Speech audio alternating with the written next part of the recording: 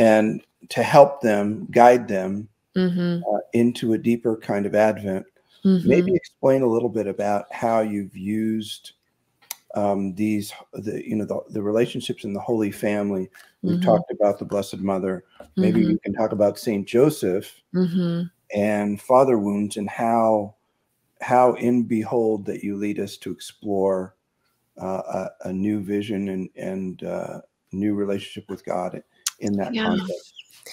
Yeah, well, the book is really set up to be just a gentle invitation, and I really all I am just just gently taking you by the hand and just leading you on a, on a very simple and a very quiet journey of healing. And it's looking at the different aspects of the feminine love of Mary and the masculine love of Joseph, and then the aspects of childhood. As we all, you know, I love that Jesus comes to earth he, as through the womb of a woman, and he grew up and he had his diapers changed and he learned how to talk, and he maybe he played soccer and he went, you know, he, he grew up. He was 12 years old, he was 14, he was 15, he was 20. You know, just just so human like and jesus is bringing us to be fully human and so it's allowing those characteristics so say for example like saint joseph of his just his his tender strength of his the way he uses his protection of how he he's honored how he's honest. And those characteristics of strong masculine love that um, sometimes we have those in our fathers and sometimes we don't but they're characteristic of a, a love that protects and a love that guards life and a, lo- a love that defends life. And so really it's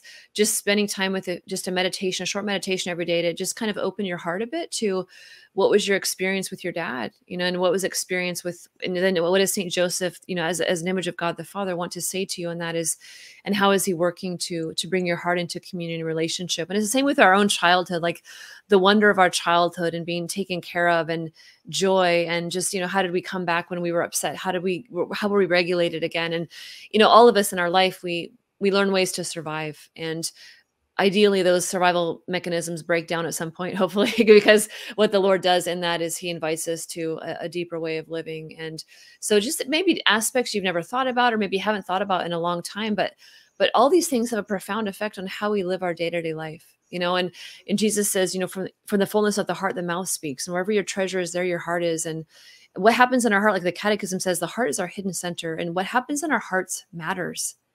And we mm-hmm. can't pretend like the things that happened to us or that we got like got over or that we don't want to talk about anymore don't affect us. They do. They affect how we pray. They affect how we see ourselves how we see god how we see others. And so the lord loves us so much he wants to bring everything into to love and truth because both are healing. Truth heals the lies and love heals the wounds and they they both heal together